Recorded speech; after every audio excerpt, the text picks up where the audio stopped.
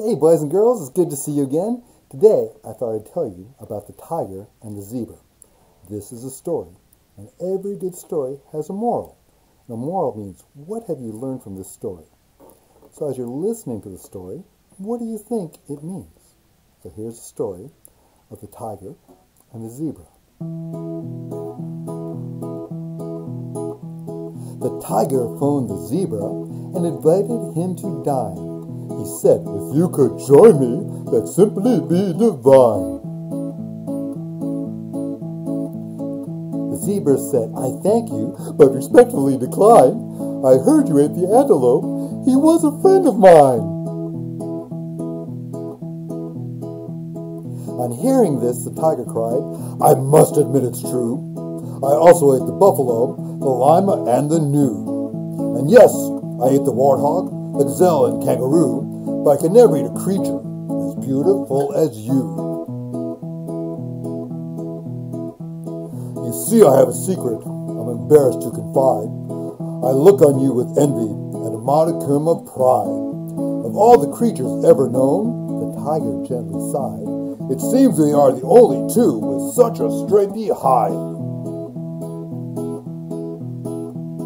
Now, seeing how we share this strong resemblance of skin, I can only conclude that we are just as close as kin. This means you are my brother, and though fearsome I have been, I could not eat my brother. That'd surely be a sin. The zebra thought, and then replied, I'm certain you are right. The stripy coats we both possess are such a handsome sight. My brother, will you let me reconsider if I might? My calendar is empty, so please, let us dine tonight.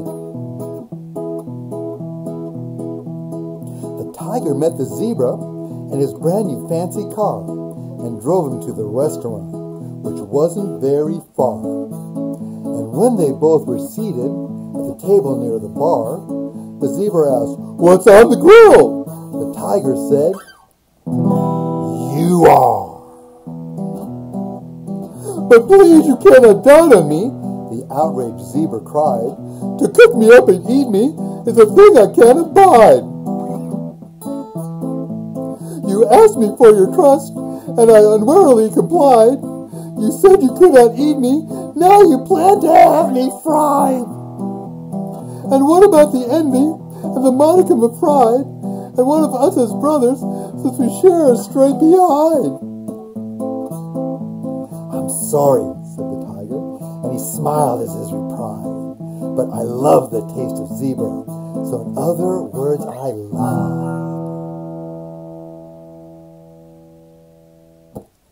So that's the story of the tiger and the zebra. And the moral of the story that I think is that you should be very wary of strangers and always think twice before you go outside. Good to see you. Hope you're doing fine. See you again next week.